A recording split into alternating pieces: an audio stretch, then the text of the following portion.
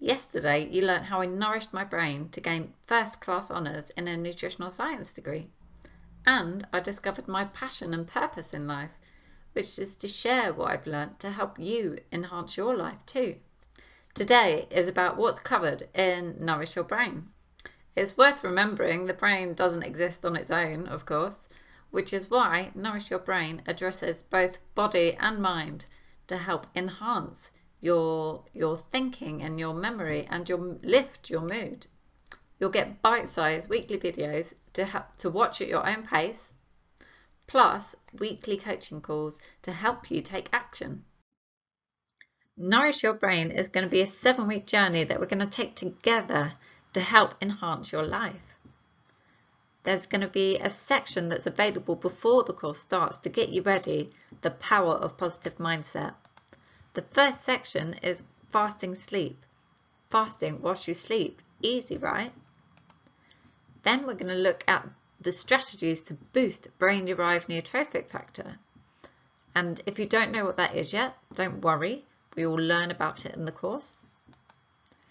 Then we'll look at strategies to reduce stress and the benefit that, benefits that that could have for your brain.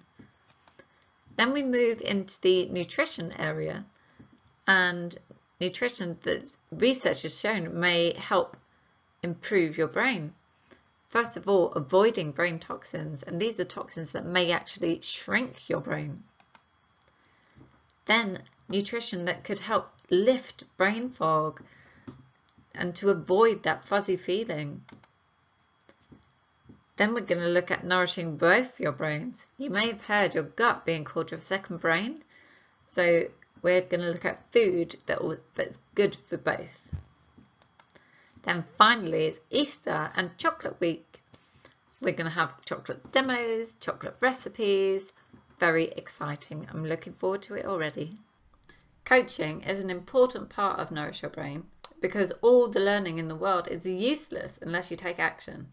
So coaching is there to help you do just that and if you have any issues or anything that you feel is stopping you, then bring that to the coaching calls and we can help you work through them. Tomorrow, you'll learn about the benefits of nourishing your brain and how it could help improve your life.